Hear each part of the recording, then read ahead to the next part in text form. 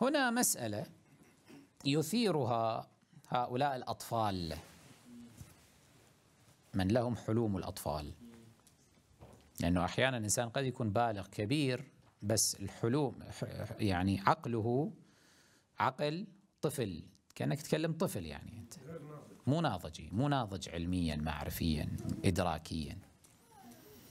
يقول لك شوف الإمام أرجع إلى رواة حديثنا مو إلى الفقهاء. أنتم ليش تقولون فقهاء؟ نقول له أولا زين وماذا تفعل مع رواية العسكري عن الصادق عليهما السلام؟ هناك فيها تصريح بوصف ماذا؟ الفقهاء. وأما من كان من الفقهاء مو رواة حديثنا صحيح؟ فللعوام أن يقلدوه. الإمام الحجة عليه السلام ما يخالف آباءه. صحيح؟ لو كان المقصود من رواة الحديث غير الفقهاء فهذا يصير شنو؟ مخالفة. هذه ليست المخالفة هذا أولا. ثانيا هؤلاء شوفوا من يعني قصر باعهم. ما أدركوا أنه اصطلاح رواة حديثنا مو معناه مجرد إنسان راوي فيتحول إلى مجرد مذياع مسجل تخلي بيه الكاسيت ويشتغل تضغط بلاي يشتغل يعطيك روايات عرفتوا؟ لا لابد يكون شنو؟ فاهم للروايات متفقه في الروايات يعرف معاني الروايات وأن كل رواية في أي موضوع أيه منه مش متشابه أيه محكم. لا يكون مثل ذول اللي مر معنا الآن في جوابنا على الأخ السائل اللي قبل أنه آه، الإمام عليه السلام يقول لا هذول ما يستوعبون فممكن يفهمون كلامي هذا على أنه تشبيه فلا تحدثهم بهذا. عرفتوا؟ مو كل واحد خوي يفهم كلام أهل البيت عليهم السلام. لازم الفقيه يفهم كلام أهل البيت. ولذلك روي عنهم عليهم السلام كما في معاني الأخبار أنتم أفقه الناس. شوفوا العبارة. أنتم أفقه الناس إذا عرفتم معاني كلامنا. فإذا راوي للحديث بس مو فاهم الكلام لا يعرف شو نسوي بهذا؟ شلون أقدر أرجع له أصلا؟ هذا ما يعرف. أنا أرجع له أقول له يا عمي شنو الحكم في هذه المسألة؟ ما يعرف يعطيني الحكم. يقول أنا يا عمي أنا بس شنو؟ عن عنا أسوي. أنا عن فلان عن فلان أعطيك الرواية. يعني حالي مثل ما حال أنت تروح تاخذ لك كتاب وسائل الشيعة وتطلع الرواية. مثل ما تروح على الإنترنت وتطلع الرواية. أنا هذا اللي أقدر أسوي لك إياه. أنا مذياع بس أذيع لك الرواية. معقول الإمام يرجعنا إلى هذا؟ إذا كان الإمام عليه السلام يرجعنا إلى هذا يعني المراد إرجاعنا إلى الروايات. عرفتوا كما هم يزعمون هؤلاء. ليش الإمام؟ أرجعنا إلى الرجال لا إلى الروايات. كان يكفي أن يقول فارجعوا فيها إلى رواياتنا.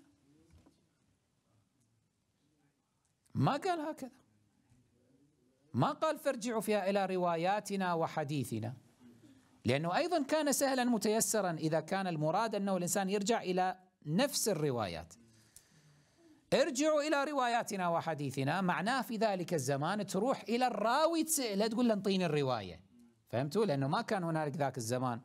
يعني كتب متداولة بكثرة ولا إنترنت ولا ما أدري يعني فضائيات ولا هاي الوسائل الموجودة. فتروح راح تسأله ينطيك رواية فقط. مو هذا الذي يريده الإمام. شوفوا هذا من غبائهم. اصطلاح رواة حديثنا يعني فقهاء. اصطلاح رواة حديثنا مثل اصطلاح القراء. سامعين اصطلاح القراء؟ لما يقولون أفتى القراء وقالوا كذا وكذا. القراء شنو أصله؟ شنو معنى القراء؟ جمع القارئ يعني قارئ القرآن. بس مو المعنى أنه مجرد حافظ للقرآن وقارئ للقرآن. هذا الاصطلاح في ذلك الزمان كلمة القراء كانت تطلق في الزمان في الصدر الأول على الفقهاء على المفتين عرفتوا؟ كان يقول ذهبت فسألت القراء فأفتوني بكذا وكذا. هاي راجعوها في التراث كله موجود. أو أجابوني بكذا وكذا وقالت معشر القراء. عرفتوا؟ هذه اصطلاحات قديمة. كذلك اصطلاح رواة الحديث. لتمييزنا نحن عن أهل الخلاف. عرفتوا؟ لتمييزنا في فقهنا عن أهل الخلاف. صار الاصطلاح المتداول آنذاك رواة حديثنا. بس مو المقصود من رواة حديثنا هو مجرد الراوي. بل الراوي الفقيه في الرواية. عرفتوا؟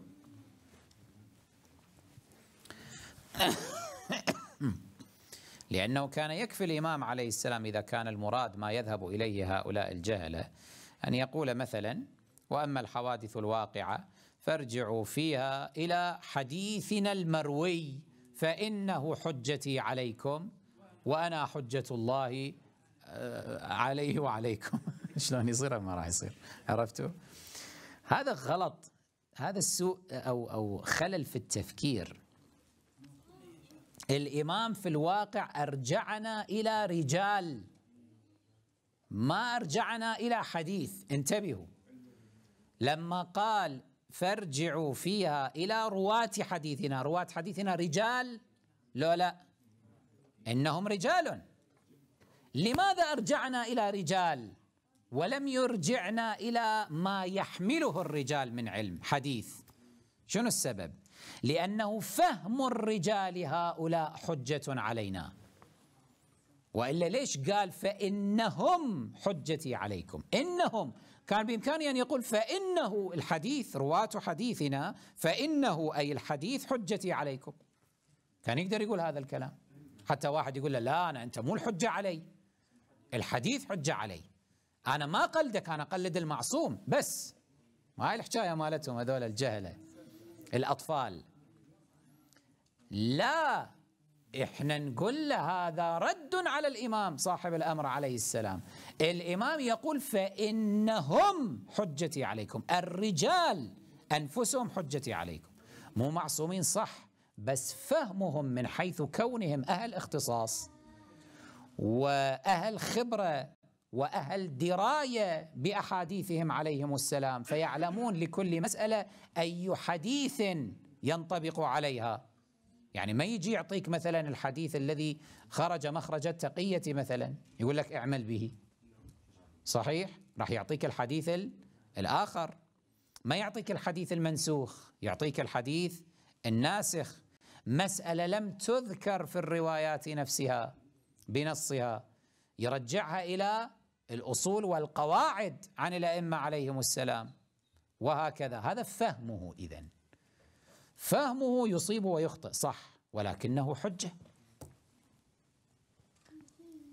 يعني الإمام أمير المؤمنين عليه السلام كان له ولاة بعثهم في الأمصار. نعم. كان بعضهم يفتي. نعم. فتوى حجة أم لا؟ ممكن يخطئ فيها أم لا؟ ممكن يخطئ. خلاص. أنت معذور. وهو أيضا معذور إذا بذل وسعة. لا يكلف الله نفسا إلا وسعها. إحنا في زمان غيبة. ماذا نفعل؟ إمامنا صاحب الأمر عليه السلام رسم لنا هذا الطريق.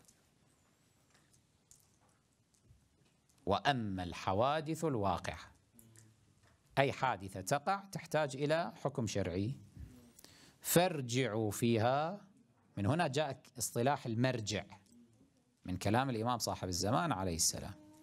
فارجعوا فيها إلى رواة حديثنا. فإنهم مو فإنه الحديث إنهم حجتي عليكم. لهم مقام الحجة علينا الحجية علينا. بالله.